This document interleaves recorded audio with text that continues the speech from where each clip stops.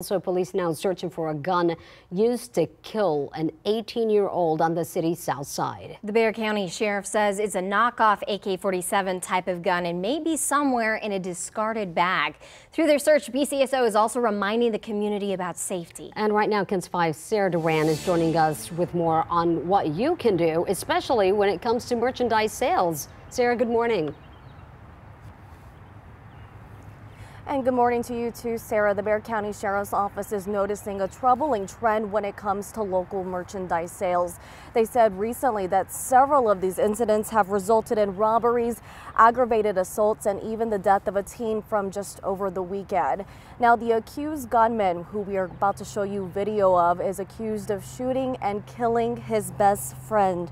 Now, the shooting happened on 1604 East near Spanish Grant Road, and the victim went to the suspect's house to buy a pair of shoes. And at some point, deputies say the suspect pulled out the gun and shot the victim. Now, before the victim died, he told deputies 18 year old Daniel Hernandez did it.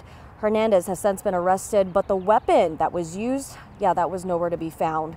Now, two days after BCSO put out this safety alert on social media, informing the public of their safety exchange zones. These are not new, but they wanted to remind the public again of these safety exchange zones. These are where people can conduct merchandise sales.